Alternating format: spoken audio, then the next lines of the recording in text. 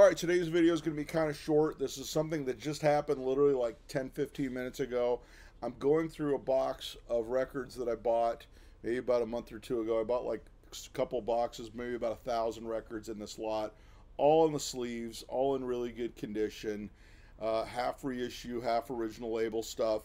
And I'd say I wound up putting in my collection about 75% of the records that are in there because there was just a lot of really cool stuff in there a lot of local LA bands, things like that, stuff that you, you don't find a whole lot of.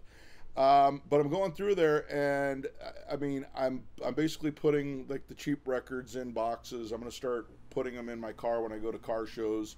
When I'm not doing anything, I'm going to set them out, see if I can get like a buck between a buck and five bucks for some of these records. So I've been going through some of those records, and since those records are all in good shape, and there's a lot of like 70s and 80s country and stuff that people are going to recognize, not something I'd want to keep.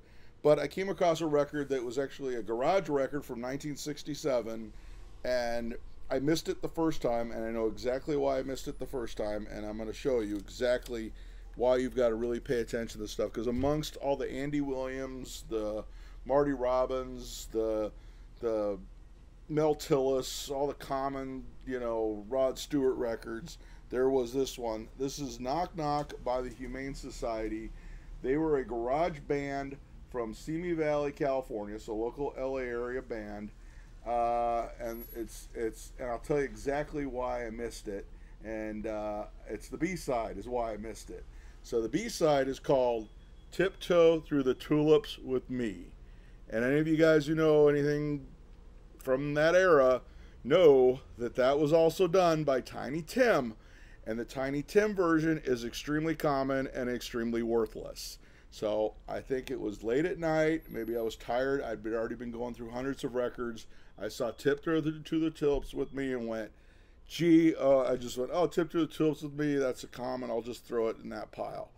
And little did I realize it was actually a garage single by the Humane Society and on Discogs, this bad boy sells for between 35 and $85. And this one's in really minty condition, other than it has the hole drilled for the returns.